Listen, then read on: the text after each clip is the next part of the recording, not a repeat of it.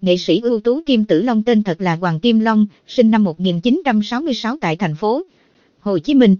Ngoài là một nghệ sĩ cải lương gạo cội, anh còn đóng góp nhiều cho tân nhạc, khác biệt là thời kỳ xe riết đĩa mươi bụi gây sốt trên thị trường. Dù đã 53 tuổi, song Kim Tử Long vẫn được đông đảo người theo dõi quan tâm và soàn xỉn xuyên góp mặt trong các chương trình biểu diễn lớn, cả trong nước và hải ngoại. Nghệ sĩ ưu tú Kim Tử Long có đóng góp rất nhiều cho cải lương và tân nhạc. Sau hai cuộc hôn nhân không hạnh phúc, hiện tại Kim Tử Long đã khăng khít với bà thôn soàn xỉn 11 tuổi là nữ nghệ sĩ cải lương Trinh Trinh. Bên cạnh sự nghiệp dễ dàng, gia đình êm ấm, Kim Tử Long còn đang chiếm hữu khối tài sản giàu có, Suốt nhiều năm qua, Kim Tử Long cùng Phi Tần Con sống trong căn biệt thự nằm ở khu dân cư biệt lập Đại Phúc, huyện Bình Chánh, thành phố Hồ Chí Minh. Trước ngôi nhà có hẳn một công viên nhỏ dài để năm di út của Kim Tử Long vui chơi hàng ngày. Trong căn nhà, ngoài khoảng sân giường thoáng mát, phòng khách với những đồ phong thủy, nội thất đắt đỏ thì còn có bếp, phòng riêng cho từng thành viên,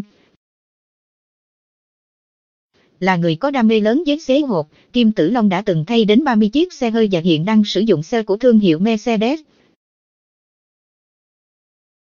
Dưới tâm huyết với nghề, trong suốt những năm qua, không ít lần Kim Tử Long tự bỏ tiền túi để tổ chức những chương trình hoàn tráng mà không nghĩ đến chuyện lời lãi.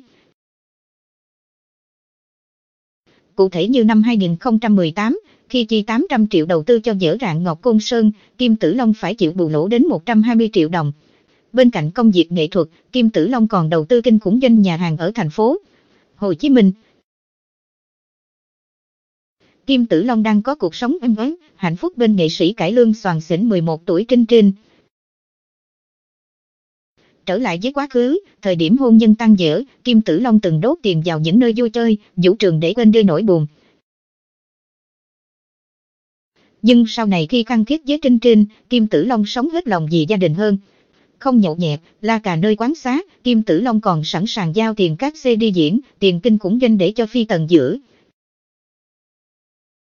Kim Tử Long cùng phi tần con sinh sống trong căn biệt thự quan phí ở thành phố Hồ Chí Minh.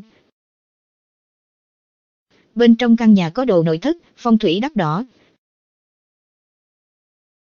Tính đến thời điểm hiện tại, Kim Tử Long đã thay 30 chiếc xe hơi, anh cũng chi từ trăm triệu đến tiền tỷ để tổ chức những chương trình hoành tráng,